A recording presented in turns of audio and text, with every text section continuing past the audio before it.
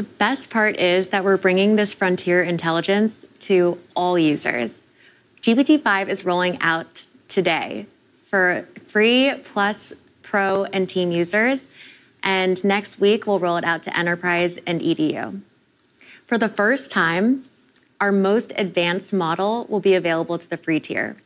Free users will start with GPT-5, and when they hit their limit, they'll transition to GPT-5 Mini, a smaller but still highly capable model.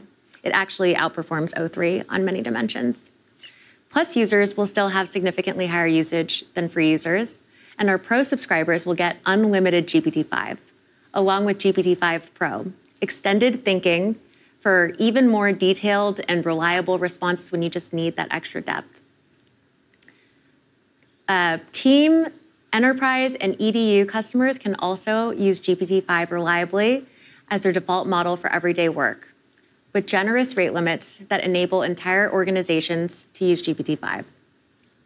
And all the tools you already know, search, file and image upload, data analysis with Python, Canvas, image generation, memory, custom instructions, they'll all just work on GPT-5.